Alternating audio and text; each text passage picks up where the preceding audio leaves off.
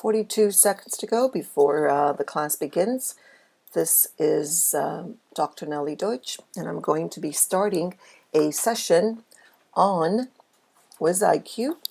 The session is Open Education Week. This is the last class of the week, but it's not the last class for Open Education. We'll be having more classes and more interactions and hopefully collaborate in creating open education resources and helping one another build open education. Hello and welcome. Welcome, everyone. Uh, welcome to today's session. I hope um, you can see me. All right, here I am. Welcome. Uh, this is not the last class for open education but this is the last class of the week. It's Friday.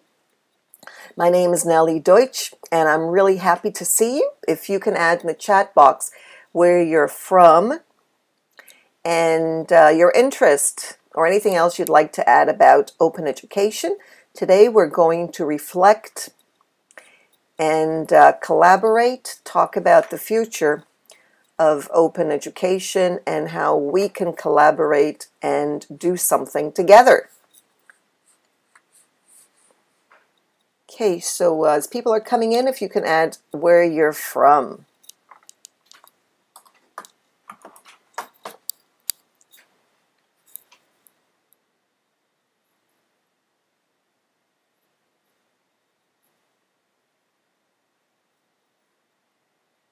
Now, I know many, most of you, and I know where you're from, but others don't. So it's interesting if you could add um, where you are right now to those who may not know who you are. And I see there are two people who have um, raised their hands. Is that correct?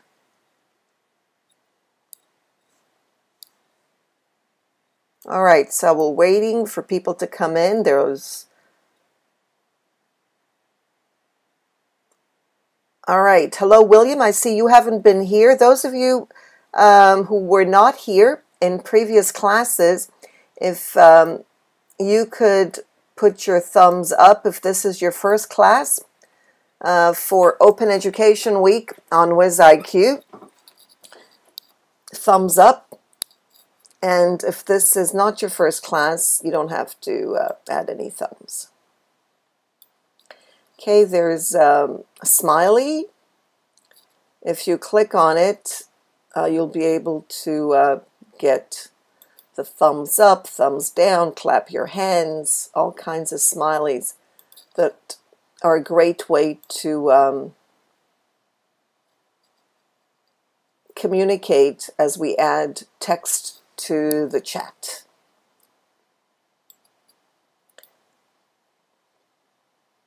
So, William, I see this is your first. Helena wasn't here this week, so this is a first. My interest is tech. I had to move to my Mac, which is quite small. Tiny, my other Mac decided to um, take some time off. We've got Romania. If you could write where you're from. Thank you, Duma. For those who don't, new tech in education. Glad to see you here, Muna. Uh, it's always a pleasure to um, introduce people to technology. And if this is your first time, welcome. Technology is a great way. It really does facilitate open learning. Jamaica, hello, Pauline. And we've got Galina, hello, Galina from Russia. All right, so um, it's been quite a week. As I said, this is a third class this week on open education, open education resources. We talked about uh, resources, open education resources. We talked about Wiki Educator, where you can familiarize yourself with Open Education Resource University. We talked about collaborating, and sharing. And today we're going to do discuss reflection. Okay, Open Education Week is from March 11 to March 15. Today is March 15, but uh, many are going on. On WizIQ in India, they're having uh, discussions from the Ministry of Education and higher ed universities are discussing higher education, how um, everyone can join forces, higher education can join forces and learn together and share resources for free. So when we talk about open education, we're talking about free and open.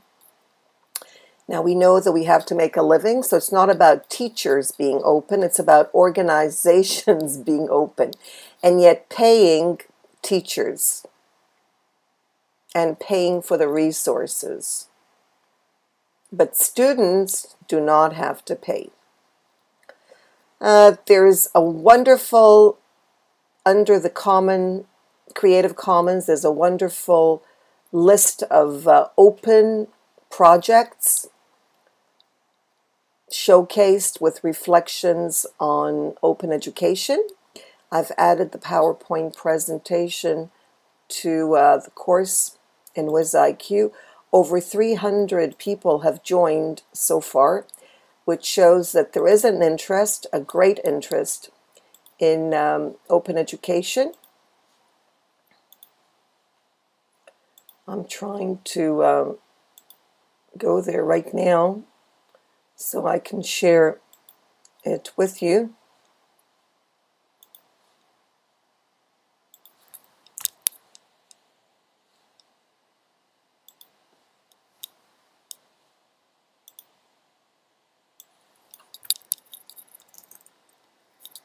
I had to switch computers um, because for some reason my uh, larger laptop decided that it wanted some time off.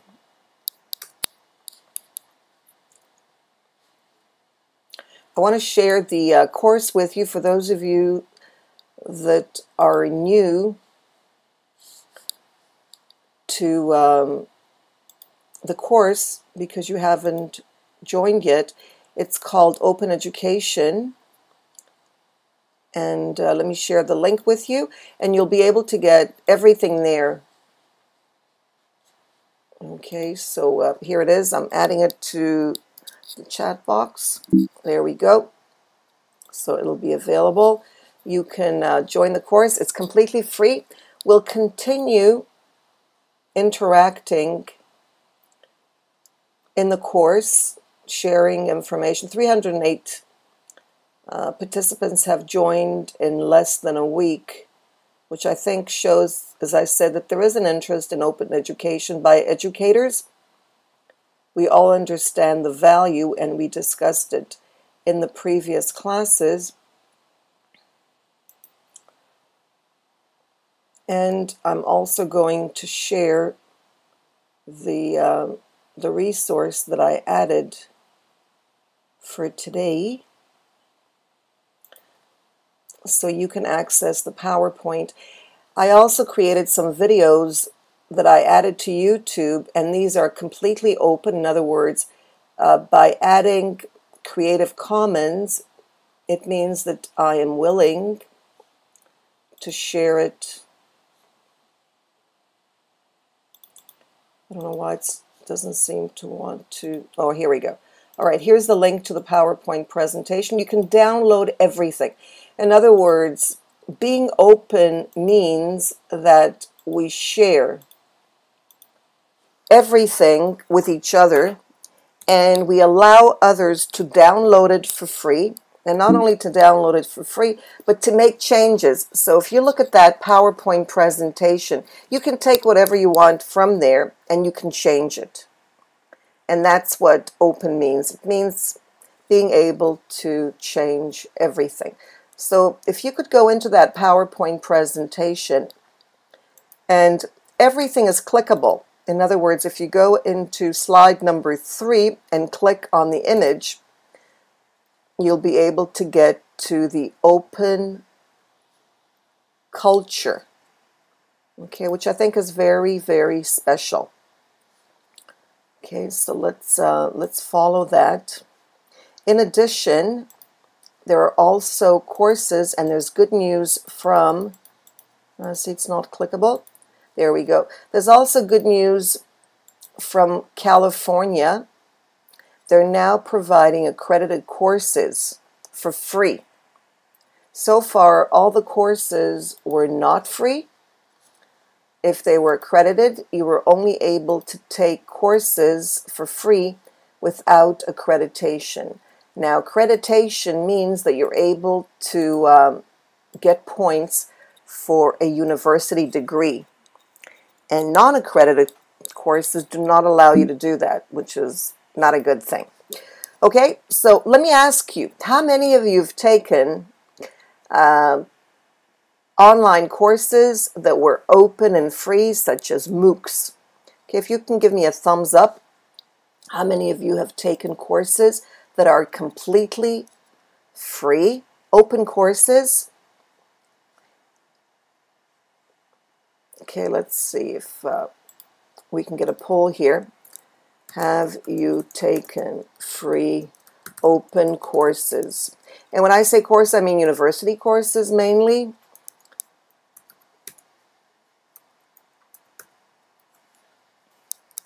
Okay, we'll see if the poll works for us.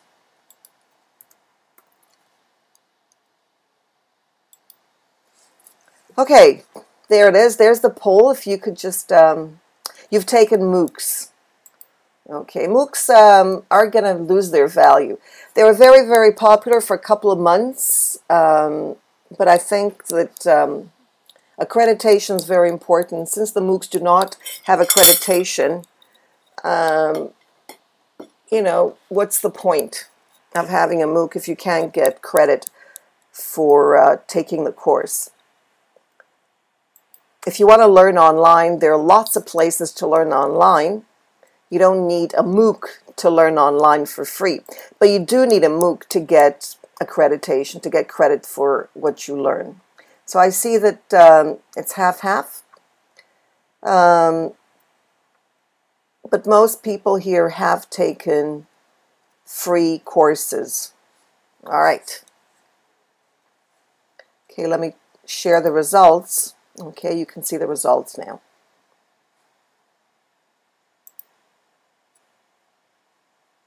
And I'm going to end the poll. All right, so uh, let's let's screen share and take a look at some of the uh, new things that are happening because of um, Open Education. Open Education Week happens every year. This is not the first time. It started, I believe, in 2009, maybe 2010. So uh, this is probably the third or fourth year of Open Education Week. Open Education gets us thinking, you know, what are we doing? Okay, as educators, as um, organizations, public education, what are we doing? Okay, are we uh, going to make money out of education? Is that what we want? Or do we want to make it free for our students? When I say we make money, I mean the organizations, for profit organizations. And now there's a, a huge uh, problem in the United States. Apparently, um, universities, for-profit universities, uh, are not getting accredited because um, the accreditors think that if you're for-profit, you cannot be serious about your students. All you care about is making money. So, for example, the University of Phoenix is in trouble right now. Walden University, a lot of the online universities are in trouble because um, they may not get accredited. They're on probation, and I think probation is like two years or something. So it doesn't matter whether uh, you're providing good education.